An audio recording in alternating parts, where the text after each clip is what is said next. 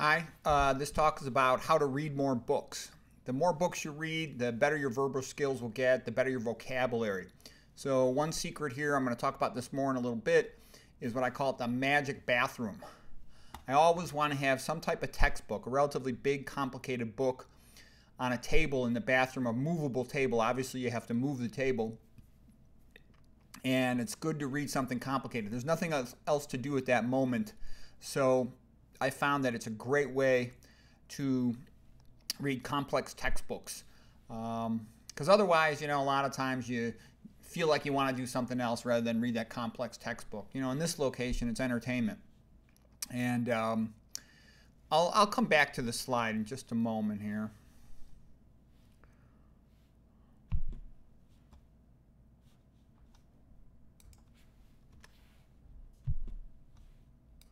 Okay, so as far as reading more books, it has to be part of your personal philosophy. Anything that you're going to do long term, you have to believe that it's worthwhile and meaningful, otherwise, you won't continue with it. So, you know, I think it's a worthwhile goal to try to make yourself highly educated, to think that it's cool to know a lot. I know with most people, it's strange, but they think it's cool to be stupid. And what I mean by that is they won't say, oh, yeah, it's cool to be stupid, but they'll have read zero books in one year. And they'll think it's odd if a person's reading and talking about books. Um, and so you don't want to be average. You don't want to go to lowest common denominator. It's better to look to people who you admire and, and try to be like them. So have intellectual mentors. I've noticed, you know, in all my years now, I'm 58, highly articulate people, they make more money, they've got more opportunities in life, they're funnier at telling jokes, they're better able to argue. Uh, they're better able to defend themselves when somebody messes with them, makes fun of them, or treats them unfairly. They're better able to write. They're better public speakers. Like if I look at nurses, the nurse that is the best at writing and most articulate, she tends to be most likely to be promoted, okay? And it's good to be highly articulate, okay?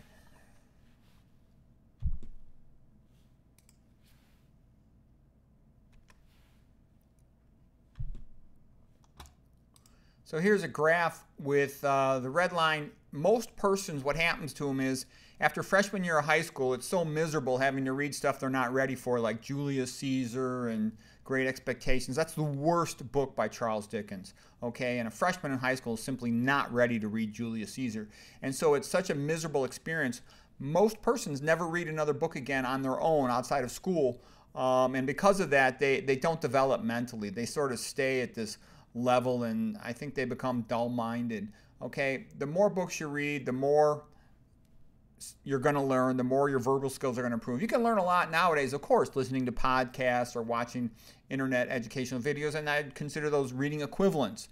But it's also good to spend time looking at a book. You're like swimming in letters, and you get better with uh, when better with letters and words when you do that. Okay. I'm just showing you a picture here. This is my father, and he was a physician. He had been a boxing champion when he, when he was in college, and he quit boxing because he's afraid he'd get, you know, head trauma, brain damage from that. This was his brother who was a physicist, and here's his brother who's another physician. And my father was from Ireland, my mother's from Puerto Rico. And the reason I show you is my father every day would work, and then at night he would walk the dog, and then he would read. Um, so exercise and reading, and he was a great role model for me because it motivated me always to read. Um, this guy in the middle here, his brother was a brilliant guy, but he, you know, ate too much meat and he died of a myocardial infarction at 51 years of age. So that was another reminder that, you know, you got to be careful what you eat. It doesn't matter how smart you are. If you fill you up your belly with meat and oil and other things, you're going to end up with plugged up arteries. This other brother was a physician and he was very sort of mean uh, and insulting towards my father and towards me when I was young.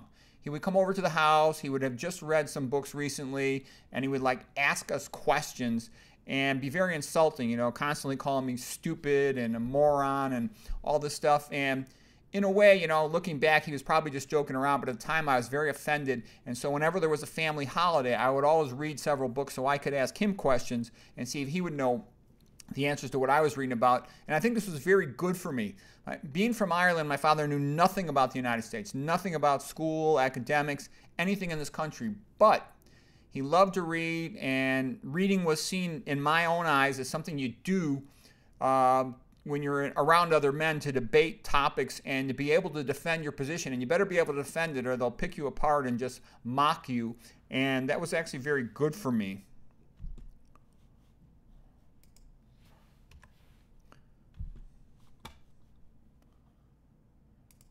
The other thing is, here's a picture when I was at Stanford as a freshman year. I was very lonely. I came from the Chicago suburbs, didn't know a single person.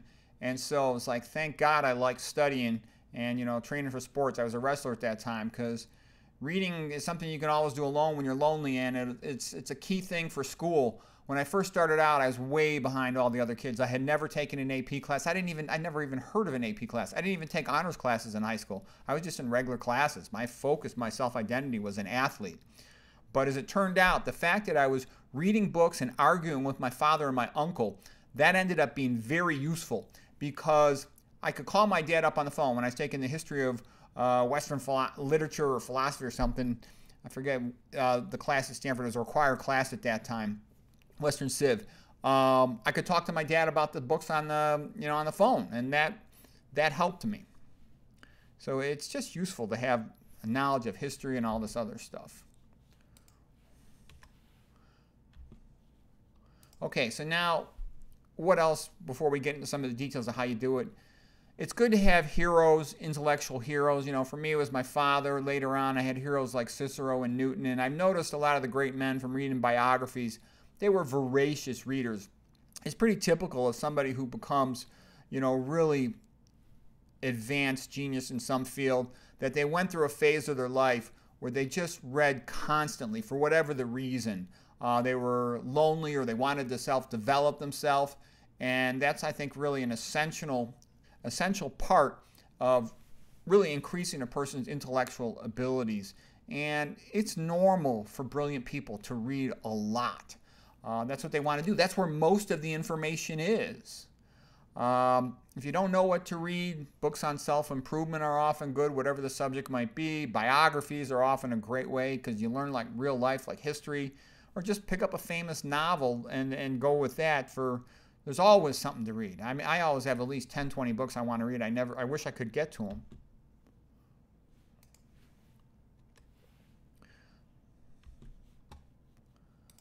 You shouldn't get into your car unless you have an audiobook, either, you know, an audio CD or a podcast or an, uh, something off your phone.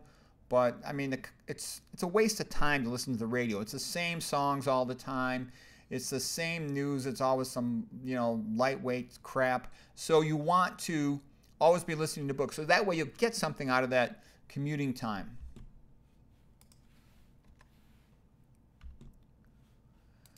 Okay, then, you know, everybody gets busy and I wanted to create more time to read. By the way, I routinely will get through three complete books a week. And if I'm focused on reading, I'll get through five.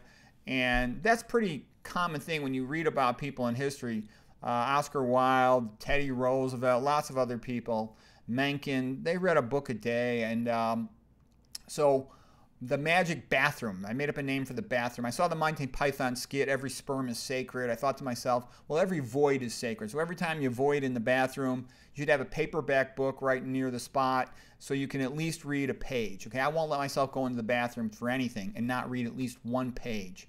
Um, quite often, much more than that. Then I saw a biography about Mozart and he wrote, It's only fitting to write while shitting. And I thought, well, gee, that's a great idea to make use of that time. And so with that portable table in there, I always put a book on the table. I think it only fitting to read while. So I'm always getting some reading done. And again, like I said, it's a great time to read the big textbooks. Um, I put pictures on the wall of things I wanted to memorize. So I get, I always get something valuable out of walking into the bathroom. I put my some of my heroes on the wall in the bathroom to inspire me because you want your mind focused on the people you admire and your heroes rather than all the nonsense that goes around us every day. Okay, here is a book that I wrote years ago called Straight A's at Stanford and On to Harvard.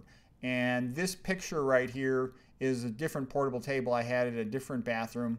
Um, and then all the pictures on the wall you know, at that time when I first put those pictures on the wall, I was studying for my neuroradiology boards exam.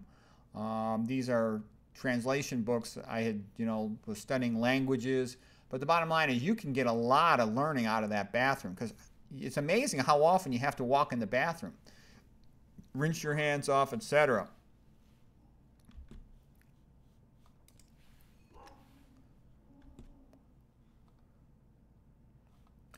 Okay, so here again is another version of a portable table in what I would call the magic bathroom.